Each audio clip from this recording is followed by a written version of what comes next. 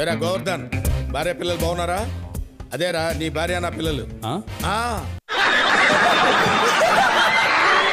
ఏ నేను కళాకారులం. మేమందరం పడిపోయేది దేనికో తెలుసా? ఒకటితలకి చప్పట్లకి. ఈ మాట బాగుంది. ఈరోజు అన్ని దేవాలయాల్ని విజయవాడలో కూల్చేస్తూ ఆ విగ్రహాల్ని ధ్వంసం చేస్తూ. సరే సరే. ఆ అన్న కో- ఇక ఇక ఈ తల్లిని నేను ఆడుకుంటా ఇక.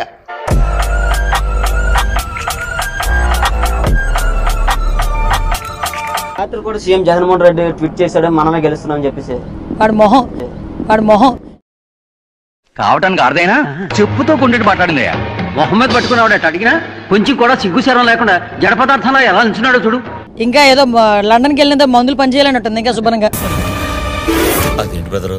అంత మాట అనేసింది. లండన్కి మళ్ళీ వెళ్తే మందులు కరెక్ట్గా ఇస్తారు. అప్పుడు కరెక్ట్గా మాట్లాడతాడు.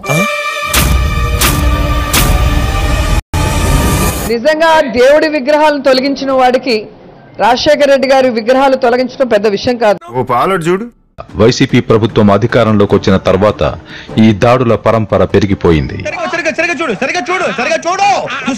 దాడులు సంఘటనలను పరిశీలిస్తే ఉద్దేశపూర్వకంగానే హిందూ ఆలయాలపై ఇలా విరుచుకు పడుతున్నారన్న విమర్శలు జోరుగా వస్తున్నాయి.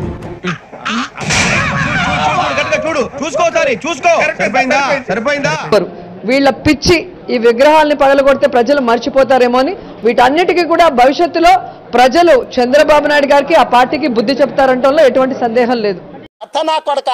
మీ అమ్మ నాని చూశారనుకో నా కొడక గుళ్ళో డబ్బులు ఎత్తుకుపోవడం గుడికి సెట్లు వేయడం విగ్రహాలని ధ్వంసం చేయడం. అంటే అది ఇంకేం మాట్లాడుతున్నావా కూటమి గెలిచేసింది. కూటమి గెలిచేసింది చంద్రబాబు నాయుడు గారు సీఎంగా ప్రమాణ స్వీకారం చేయబోతున్నారు మేము. ఏంటాది గారు ఎంత పని జరిగింది? మహా దుర్మార్గులు.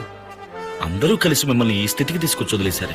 ఏ విధంగా హిందూ మతస్థుల్ని ఈరోజు అవమానపరుస్తున్నాడు భగవంతుని అవమానపరుస్తున్నాడు మనం చూస్తున్నాం. పుట్టుకేంద్రా?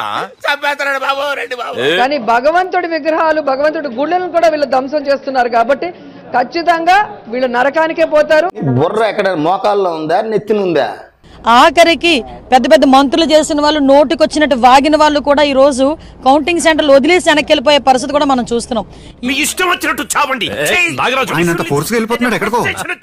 ఫ్రస్ట్రేషన్ వచ్చినప్పుడల్లా ఫామ్ హౌస్కు పోయి పిట్టలు కొట్టుకు తింటాడు కూర్చోండి. పాపాలు చేసుకుంటూ పోతే వంద పాపాల వరకే. ఇప్పటికే తొంభై తొమ్మిది దాటేశాడు. ఖచ్చితంగా నూరు పూర్తయితే ఆయనకి ఏం చేయాలో భగవంతుడు నిర్ణయిస్తాడు. అలాంటివి మీరు మాట్లాడితే కామెడీగా ఉంటదన్నా.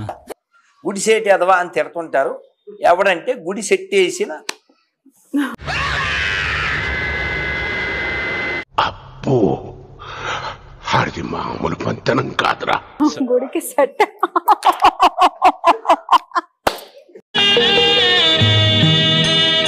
నీళ్ళకి పేలిందిరా. ఈ మధ్య అలా కూడా అంటున్నారా? అవును. అలాగన్నమాట.